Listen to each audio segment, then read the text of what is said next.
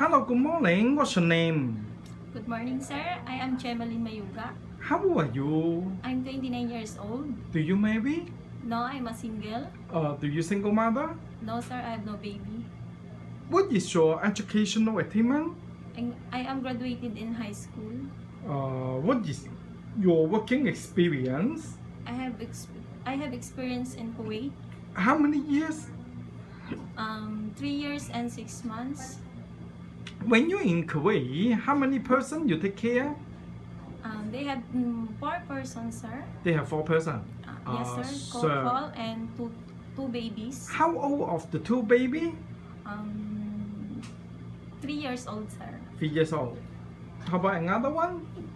And um, there are uh, twins, sir. The baby, Oh, they are twins baby. Is a boy or girl?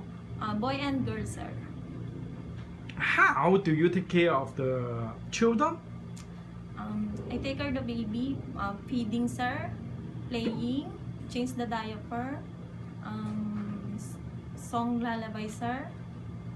Um, Do you love to take care of the children? very much sir. Oh, very much. Um, when you're in Kuwait, uh, what time do you, do you wake up?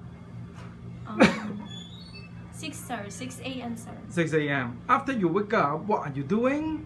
Um, prepare the breakfast for my madam and sir. Uh, and what- for the babies. What kind of the breakfast?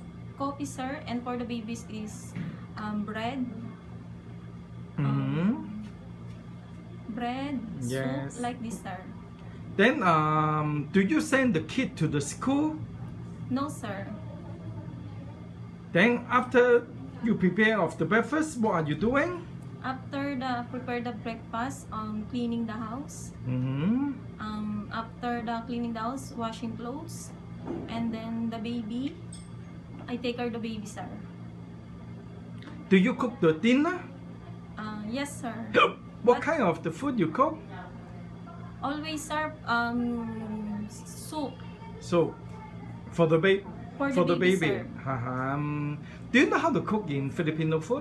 Yes, sir. What kind of the Filipino food? Adobo, sinigang, um. You cooking you cooking every day? Yes, sir. Where do you living in Philippines?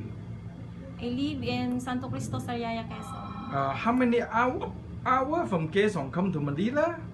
Um, five hours, sir. Five hours. Uh, you living to, together with your parents? Yes, sir. I'm living in with my parents. What is your parents' occupation?